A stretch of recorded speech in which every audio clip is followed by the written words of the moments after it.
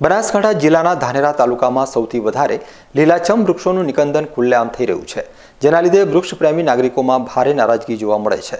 જો કે પોકળ કાયદાના લીધે વૃક્ષ નિકંદન અટકે તેમ નથી, તેવા સમયે ધાનેરા તાલુકાના વિવિધ ગામોમાં વૃક્ષારોપણ થઈ રહ્યું છે.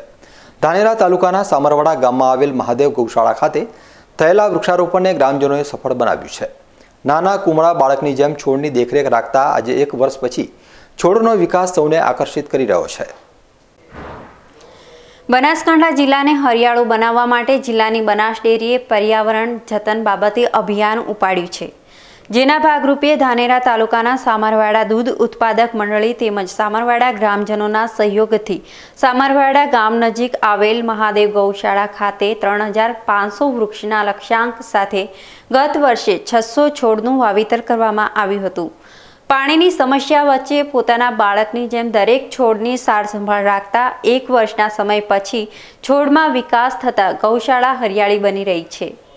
બનાસ ડેરીના ડિરેક્ટર અને ધાનેરા મત વિસ્તારના પૂર્વ ધારાસભ્ય જોઈતાભાઈ પટેલે સામરવાડા ગૌશાળાની મુલાકાત લીધી હતી. ધાનેરા તાલુકામાં દૂધ મંડળીના સહયોગથી વધુને વધુ વૃક્ષારોપણ થાય તે માટે જોઈતાભાઈ પટેલે સામરવાડા ગ્રામજનોનો આભાર માન્યો હતો. જો કે નષ્ટ થતા પર્યાવરણને બચાવવા માટે વૃક્ષો જરૂરી છે, સાથે કોરોનાની બીજી લહેરમાં પણ પ્રાણવાયુની કિંમત પણ નાગરિકોને સમજાઈ ગઈ છે. જેથી ધાનેરા તાલુકામાં વૃક્ષારોપણ બાબતે બનાસ ડેરી સજાગ બની ગઈ છે. આ વર્ષે પણ પીપલ વન બનાવવા માટેની તૈયારી સામરવાડા ગ્રામજનોએ દર્શાવી છે. ચોવીસ કલાક ઓક્સિજન આપતા પીપલ વન ઊભું કરવા માટે બનાસ ડેરીના ડિરેક્ટર જોઈતાભાઈ પટેલે કામગીરીને બિરદાવી છે. અમારા ગામમાં ગઈ સાલ બનાસ ડેરી અને બનાસ દૂધ મંડળીના માધ્યમથી અમે પાંચસોથી વધુ વૃક્ષોનું વાવેતર કરેલ. પણ વાવેતર કર્યા પછી મેઇન શું હોય છે કે વૃક્ષોનું જતન. અમે છેલ્લા એક વર્ષથી વૃક્ષોનું સતત દરરોજનું મોનિટરિંગ કરી અને એની દેખરેખ આની પાણી કરી અને વૃક્ષોનું વાવેતર કરેલ. અને આજે એ વૃક્ષો અમારા મોટા થઈ ગયેલ છે.